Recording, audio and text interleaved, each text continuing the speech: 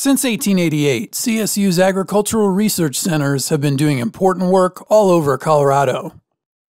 The Agricultural Research, Development, and Education Center, also known as ARDEC, is a farm, working livestock facility, and horticulture field research site.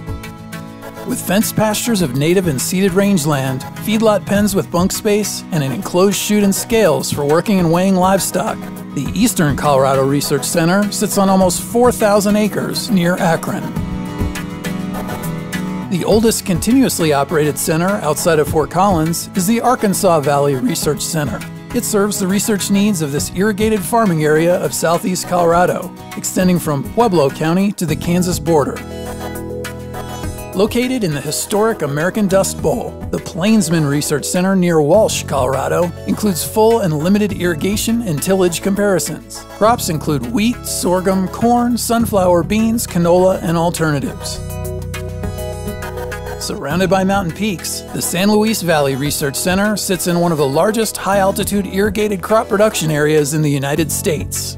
CSU's potato program is based here. On 158 acres of farmland near Cortez, Colorado, the Southwestern Colorado Research Center advances knowledge of crops adapted to the area's high altitude.